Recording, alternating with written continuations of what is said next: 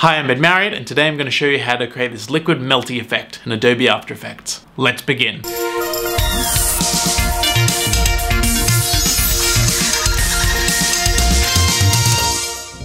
So to start this effect, you'll need all of your elements separated. So I've got each layer in its own little text box here. If you've got a lot of text, plugins like Decompose Text can uh, help you out with that. I've also given them a pretty narrow tracking, which is the space in between the letters, so ours are pretty tightly squished together, and that means that we're just going to get more of them melting into each other as they sort of melt away. We're going to create a rectangle using a rectangle here to cover up everything below the text that we're going to use as a mat for our text to disappear into. And let's label that melt mat because we always label our layers. Let's drag that to the bottom. Now let's animate our text falling away. Now one second in, we're going to select all of our text here, and we're going to animate the position property. So we're going to open that up with P, click on the stopwatch here, and around two seconds in, I'm just going to nudge them all down using my arrow tool so they're just a little bit below this line. Great. Now let's also animate the rotation.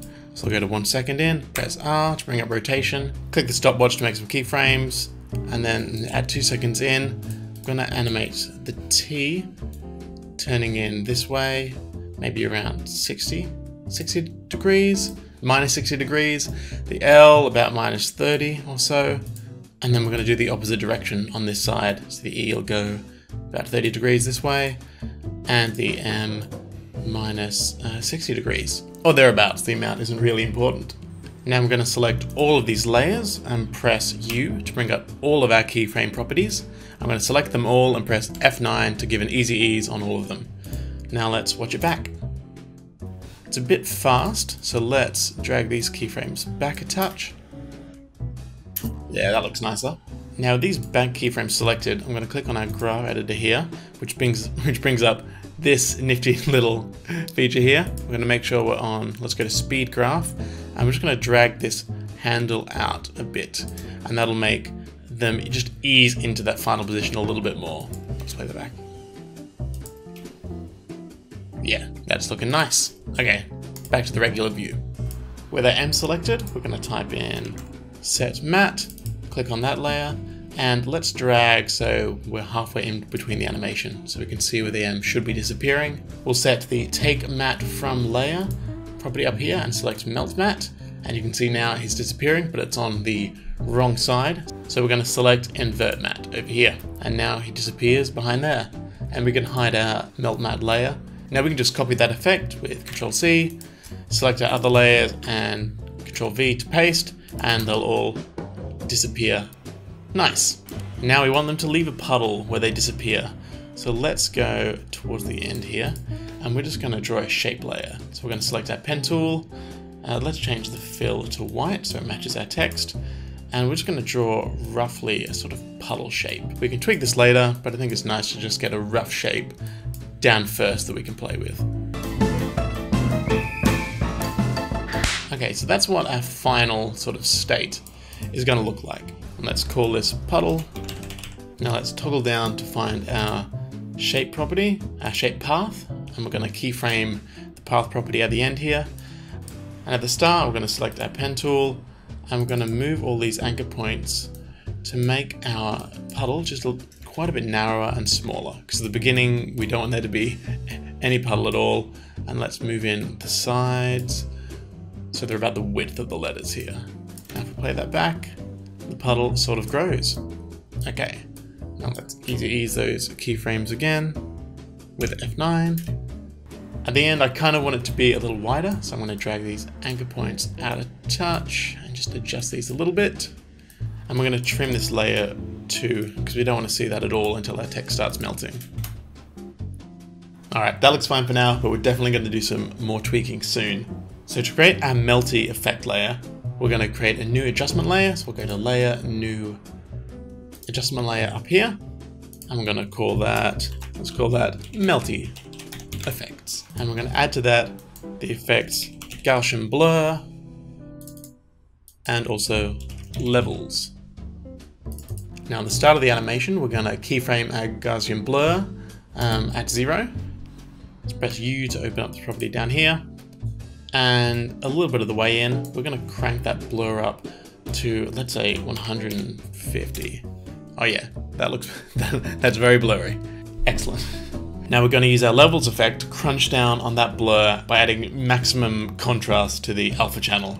So that means that we're telling anything that's kind of transparent to be fully transparent and anything that's just a little bit transparent to be not transparent at all. So let's select uh, from our channel alpha down here and drag both of these points right to the middle. And you can see as we're doing that, you can kind of picture what's happening. Now let's go back and watch kind of what it looks like. Okay, so we can see here, we're kind of getting the effect we want. It's starting to melt and they're, started, they're starting to get round, they lose all their corners, and then they kind of merge into each other, and then our puddle appears far too late.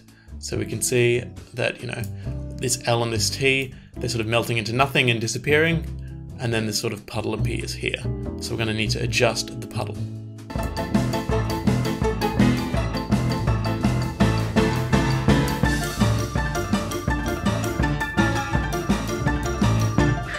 Alright, that's looking pretty good. One thing I do notice is that when this L sort of starts melting, there we get it sort of disappearing into nowhere. And we don't want that, so what we're going to do is we're going to create another um, shape on the, on the same puddle shape layer. So let's say around here, I'm just going to draw a round shape. And all the effects are going to be applied to that so you can see it enacting in real time. I'm just going to make that so I'm just kind of drawing what I want this frame to look like. And then that's in uh, shape 2, so we're going to toggle down, go to its path property, and over here when our L starts to melt, let's click on this and just shrink that shape down at this point. That's a little more smooth. And animating the physics correctly is really what's going to sell this effect. So if the physics kind of look off, if it's not melting at the right speed, or if there's puddles where there should or shouldn't be, it's not going to be quite as believable. So now I'm just going to spend a little bit of time uh, tweaking these sort of shapes and, and the speed of these.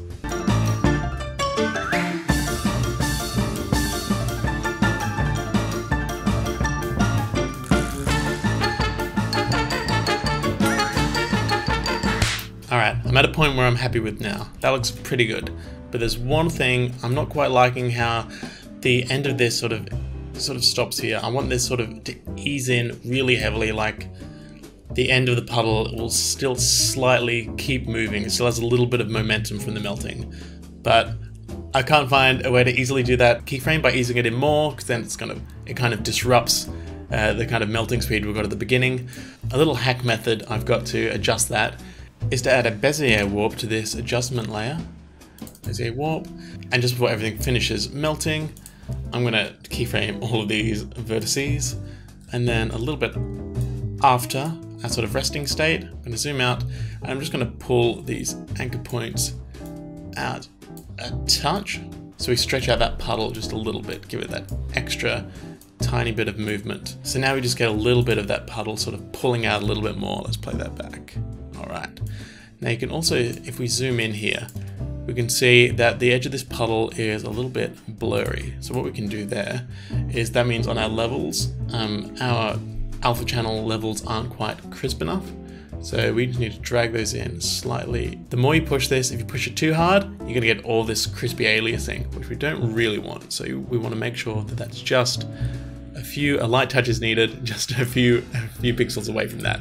That looks fine, that looks good to me. This effect with the blurring and then the crunching the alpha channel, I use it more often than I thought I would. It comes in really handy if you just need to round corners on a simple shape or remove some of that uh, crispy aliasing that you get in some places. It comes in handy in a pinch. And this Bezier warp effect, uh, normally it's best to sort of sort out your easing issues in your main, main keyframes, but sometimes it just doesn't work and you need a little bit of a hack solution on top, and here it doesn't disrupt anything. For our shading effect, I'm going to render this out and do some frame by frame in Photoshop. And here I'm going to be using the plugin AnimDessin 2, which is 100% free. Essentially, it's a toolbar that has the buttons you wish Photoshop had for doing frame by frames animations. Now I'm only really going to be using three buttons, this one to create a new layer, This one to create a new frame, and this one to display my onion skins, which is the transparency, so you can kind of see a bit of the frame before, so your animation lines up. I'm going to add a yellow layer because I kind of think I want this animation to maybe look like cheese. So I'm just going to put a yellow fill on this layer and set it to multiply over our existing video layer. And with this new layer I've called highlight, I'm just going to add a highlight to the top left of every layer using a white round brush.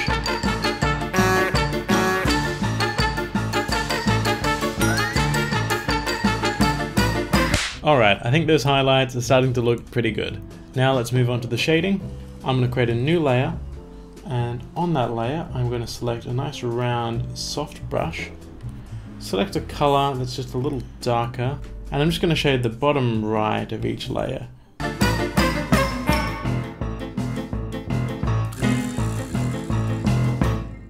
Okay, and I think that shading looks pretty good now as well. Let's take this back into After Effects. Alright, so let's import that PSD into After Effects with Control I Find our file and select import as composition retain layer sizes and click the next OK dialog box. Now we want to create a new comp that includes our main comp here. So we can just drag that onto our new composition button down here and that creates a comp with the same size and width and just nests that comp inside. So let's rename that melt main comp. And we want to go into our PSD that we imported here and just copy out these two layers here. These are our highlights and our shadows. Let's rename this to shadow, which we should have done in Photoshop. Now we want to color our melt main comp yellow. So let's apply the fill effect over here and let's select a yellow color. And we want our shadow layer to be matted out by our melting text comp. So let's duplicate our main comp here, put it over our shadow layer and let's rename it melt main comp matte. And then on our shadow comp, we're going to apply alpha matte here. Great. Also one thing I want to do is I want to apply a kind of rim lighting to the edges of this shadow layer so it appears a little more rounded. And we can do that by applying a choker to our matte here. So if we find the simple choker effect over here, and we just ramp that up, you can see it encroaching a little bit on our shadow layer. You can see that it never touches the exact edge of our melt layer here. And to make that a little more subtle, we can blur that effect. So if we type in uh, Gaussian blur over here, and just crank that up a bit to kind of feather the edges of that matte. All right, that's looking pretty good to me. It's a little too jittery, our shadow layer here. So something we can do that is just to apply a blur to that shadow layer. So let's add a blur effect and let's give it a 50 pixel blur. So that just will make it a little bit more even between all the layers. So that's actually still a little too jittery for my liking. Now one trick we can do though, ideally you saw this out in Photoshop when you're drawing these in the first place, but I'm just going to duplicate the shadow and the matte here, and I'm going to set them both to 50% opacity. And I'm going to shift the top one over just one frame because most of these were animated on twos. It should blend them just a little bit. So let's try that. Alright, that's much better. That looks a hell of a lot softer now. So what that does is it means instead of showing the one image for two frames, it's showing, showing one image once, and then on the next frame, it's half blended into the next frame. So you kind of get, so it's kind of like in betweening the frames here. So there's just a bit of overlap of opacity. And I think that gives a pretty nice effect. We've got that subtle movement happening, but it's not too severe and I think that looks pretty good. Now you can use this effect to melt absolutely anything. Text, army men, our generation's hope for the future, anything at all. If you make something melty or use the tricks you learned in this video, please share what you've done and tag me at ben underscore underscore so I can share them on my Instagram stories. I can't wait to see what you make. Please let me know down in the comments what else you want to see from this channel. Do you want some more tutorials, process videos? Who knows? I'd, I'd like to know. So don't forget to subscribe hit that bell icon, share, and absolutely embarrass and humiliate and crush that like button, please. I'll see you next week.